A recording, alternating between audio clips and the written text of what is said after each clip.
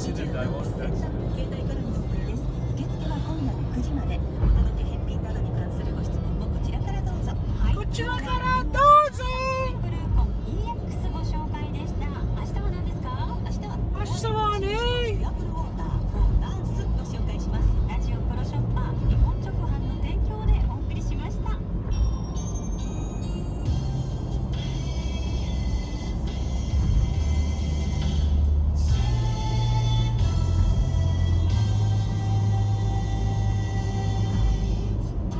Ginza is the, the most expensive shopping district on the planet and they take more money than any luxury goods district anywhere on earth. Yes, that's the Ginza shopping for you. And Higashi Ginza is your Kabuki, the theater district. I come to Tokyo often, so if you like to know any information about I'll give you some information. Chuo Ueno! Yes, we have to go through central Tokyo, and there's underneath, there are three other roads. You gotta go heading towards north, so you gotta go towards Ueno, which is straight ahead for us serving north of Japan's Tokyo Metropolitan District.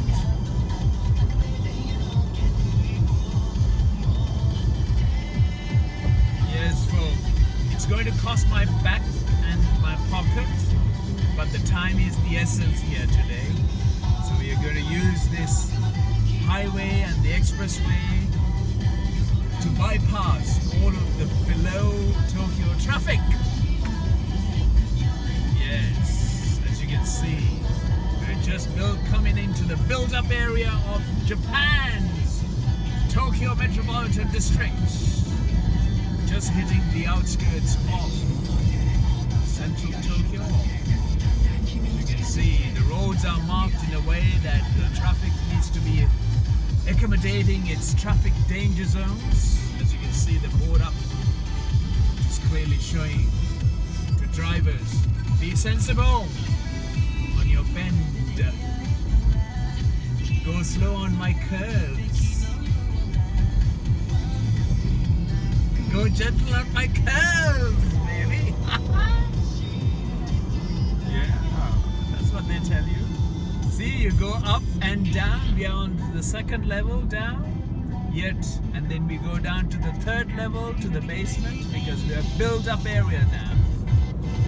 This is it. This is what you call Japan's Tokyo uh, intelligent management of traffic. And they're making people move from side to side, left to right, without having to sit like puppets on the traffic junctions and bypassing all the traffic systems that are possible. Yes. It's called the intelligent management of in a city that is constantly growing to manage and accommodate the traffic, the traffic congestion, and all of those unknown areas of the city. Yet, the guys behind the scene are managing, recording, traffic flow, to make plans, make road infrastructure programs to suit and move people in this very busy. And time is the essence here. If you say a time, if you mention a time, you got to meet the time within a minute. Otherwise, you lose the trust and the understanding between how to function in this very critically important city on the planet. Yes. Just keep going, just keep going. Yes. No excuse, as you can see.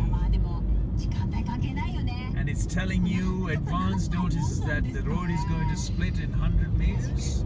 And you got the sound barriers to keep the sound inside the road rather than go outside the split into try and infrastructure support on this overhead bridge. And there's the ATC traffic. And if you're on through traffic, you just stay on this road. It doesn't matter, you stay on 50, but not today. It's just less than 5 kilometers an hour. To the right, you can see there, the traffic. There's no place to park, so they hoist car. ぼやぼやするけれど来年には引っ越しできるよう地道に頑張ります。ね帰る家があるっていうのは本当に本当に。感謝もしありがたいことなんですけれども一人にだったらちょっとでかすぎるって。Yeah. Let me take you through the traffic congested Tokyo 日本の付き合い何度も考えられる。と Show you what it's like to be driving here in Tokyo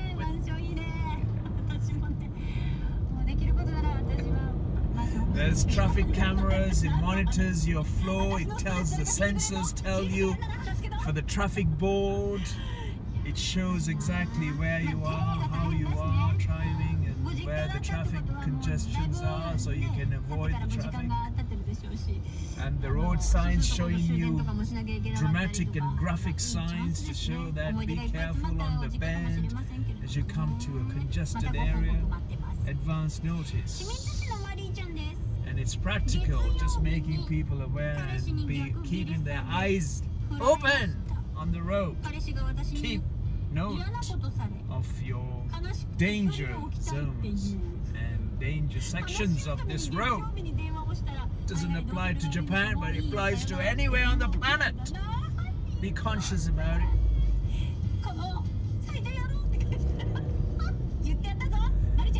Understand Bayshore route. Yes, Bayshore route. That's only if you go into its uh, um, region. I'm going to go through the city because there's no other way. But also you can go through here in direction of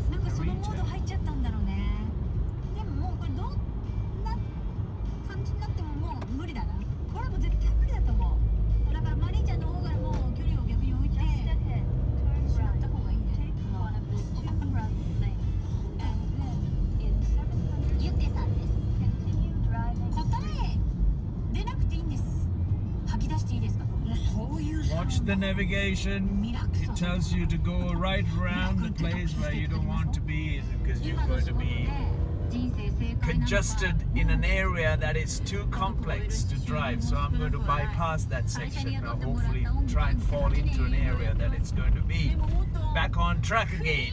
But never mind. Let's give it a chance on this road.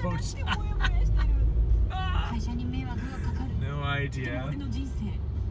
俺の人生 I'm in Tokyo. Just go with the 家 flow. 族はどう思うんだろうか That means it's going to cost you more.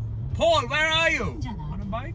言ってる時代何かでき恋と一緒で Let's keep これ going. は This 恋 is だ it. と思って思っ This た is 時点 it. で恋 This こ is れ it, クリエイティブな son. ことって思ったらもうもう1対1だけどね私の周りには結構こういう人いて Yeah, so what do you do when you arrive straight away from a 11 hour flight?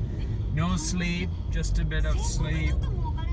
Uh, you get a car and you just go driving. It's a time that you should be sleeping at home if you traveled out of Europe. Yeah. And it's just come up to 11 o'clock in the morning here in Tokyo.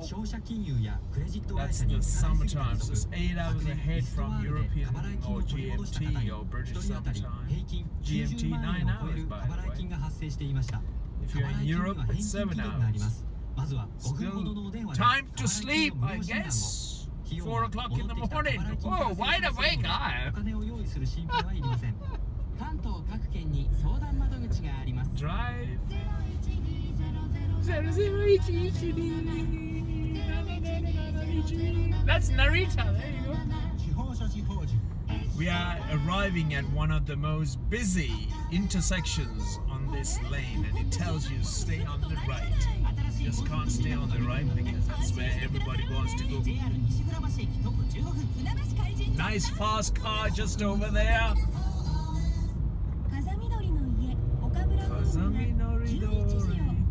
Tohoku Express, that's what we want, Tohoku. We are going to Fukushima. Fukushima, remember Fukushima? Everybody remembers Fukushima because that's where the disaster occurred. And it's Tohoku Expressway. It's towards Fukushima. Going north.